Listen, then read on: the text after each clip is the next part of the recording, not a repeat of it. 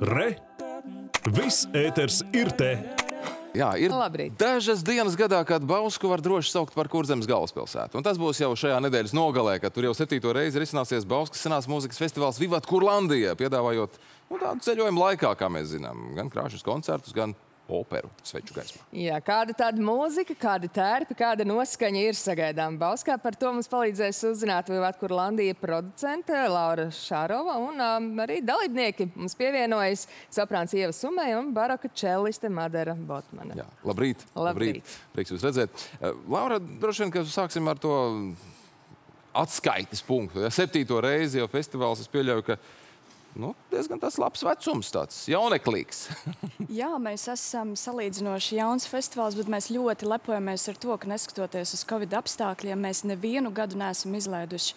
Un tātad šis būs jau septītais gads, kad Bausku mēs pārvērtīsim par vietu, kur ir iespējams izbaudīt ne tik, ne, ne tik vien mūzikas koncerts, bet arī pasākumus, kur varēs dzirdēt renesanses dzēju, kā to darīs aktieris Ivo Martinsons un Sigita Pļaviņa aktrise.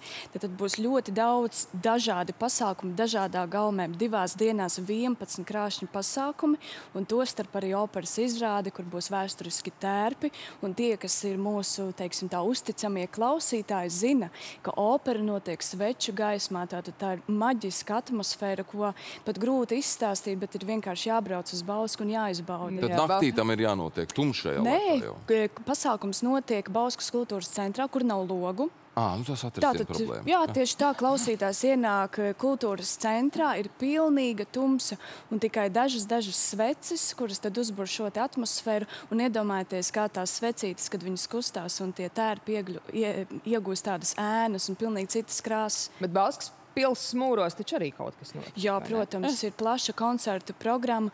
Jāuzsver arī to, ka, protams, mums ir maksas pasākumi, ko mēs aicinām klausītājus iepriekš pārdošanā um, iegādāties un atrast šos koncertus mūsu earlymusic.cl. Nē, mēs nereklamējam biļetes, bet ir arī mums bezmaksas, ir vai ne? ļoti daudz bezmaksas pasākumu. Tiešām mēs ļoti aicinām arī bērnu pasākumus, kur līdzīgi varēs iepazīties ar rokoko laika kostīmiem, tātad 18. gadsimts, un ar senās mūzikas instrumentiem. Ļoti, ļoti plaša programma. Pavisam īsi. Opera Orfejs, um, kāda tā ir? Uh, opera Orfejs ir visiem uh, zināmais stāsts par Orfeju ar turpinājumu, kas ir varbūt nelie, nedaudz traģiska opera. Tā varētu šķist, jo opera sauc Orfeja nāve.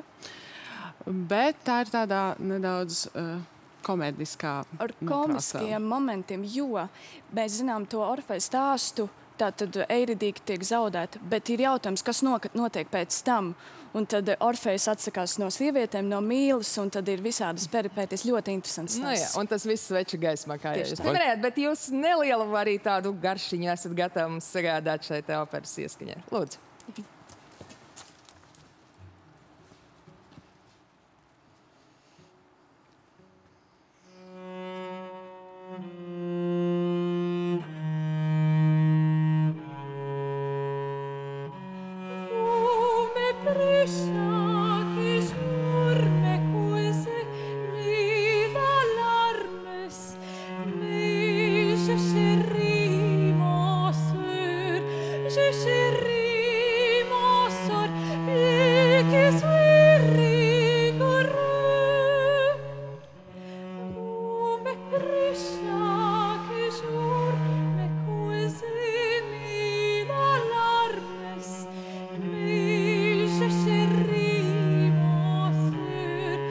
se ríe.